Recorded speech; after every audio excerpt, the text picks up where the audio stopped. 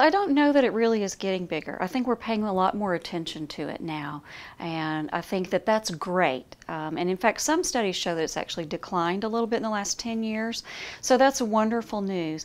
I think that the fact that we're talking about it is really healthy.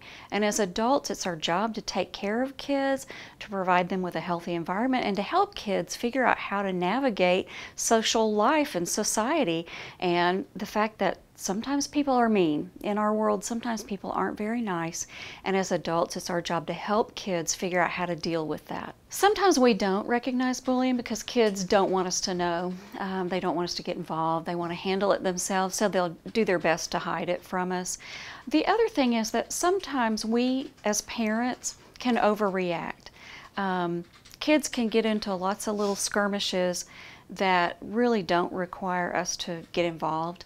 So it can be very hard for parents to know when they should and shouldn't get involved in a situation. The most important thing to remember is to be talking to our kids all the time, checking in with them all the time to ask how things are going, and that you might ask that just any day when your kid seems happy um, so that it's not something that you're asking just when your child looks like they're upset or something's bothering them.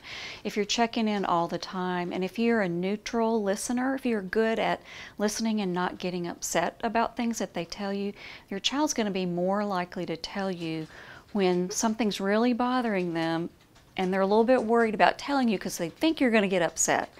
So if you can remain calm when they talk to you, they're going to be more likely to tell you about what's bothering them and what's going on.